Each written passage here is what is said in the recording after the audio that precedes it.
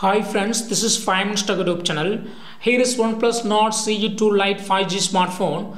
In this video, we will learn how you can add keyboard languages in your phone OnePlus Nord CE2 Lite 5G.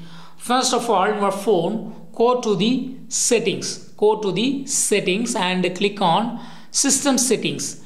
Click on system settings here and select keyboard and input method and here select gboard. Select gboard and click on languages. Click on languages and here you can add other keyboard.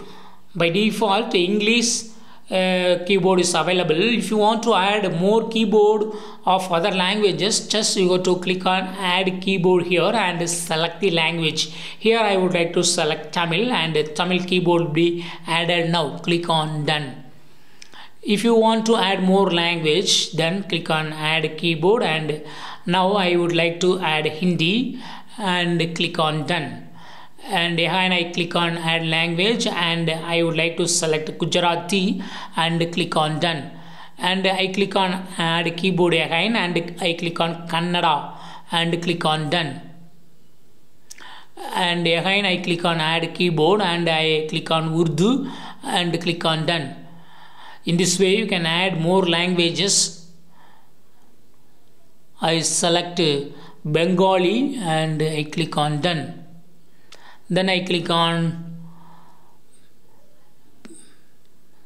click on Arabic and click on done.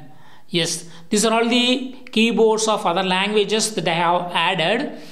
And if you want to actually use these languages you got to go to the typing interface and uh, see the languages there I go to typing interface this is typing interface you can type uh, here in English by default it is in English and if you want to change to other language click on this global symbol and now it is changed to Tamil English and you can now type Tamil I type now வணக்கம் ஐ typed இன் தமிழ் வணக்கம் online விளையாட்டு இரவு விடுதியில் தங்கி இருந்த என் மகன் ஆவார் so whatever may be just you can type using the english keyboard you can type tamil so if you want to switch to another language that you added and just again click on this global symbol and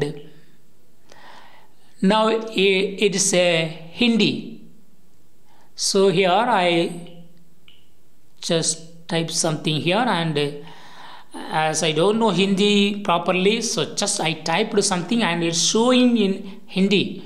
And then if you again click on uh, global symbol, previous one will appear, and then if you again click on previous, it, it goes again previous uh, language English, and if you again click and another language Kannada is showing. So in this way, you can easily switch between languages and uh, you can use other languages that you have added in the keyboard. That's all, friends. Thanks for watching. Bye.